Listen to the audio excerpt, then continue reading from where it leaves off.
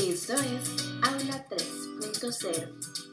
A través de un podcast en Spotify, una docente de Ciencias Políticas de la UCR busca ayudar a sus colegas en el proceso de adaptación a la virtualidad y el uso de tecnologías de la información, pero de una manera que no requiera conectarse a una hora determinada o implique invertir mucho tiempo.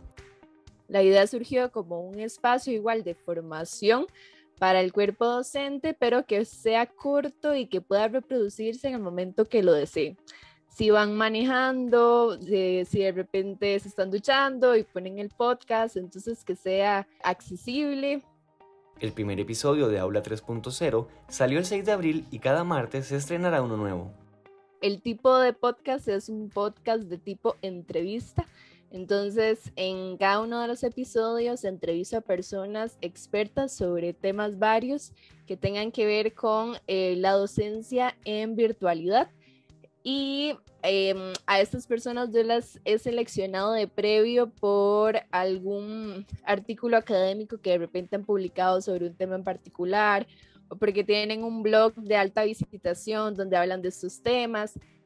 Esta primera temporada cuenta con un total de dos entrevistados provenientes de países como España, Argentina y Ecuador, con quienes abordaron diversos contenidos.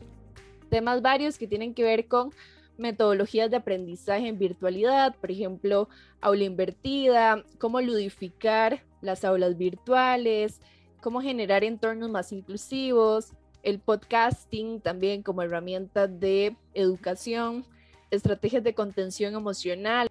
Este proyecto y el esfuerzo de la profesora Alvarenga es elogiado desde la Unidad de Apoyo a la Docencia, mediada con tecnología de la información y la comunicación conocida como METICS.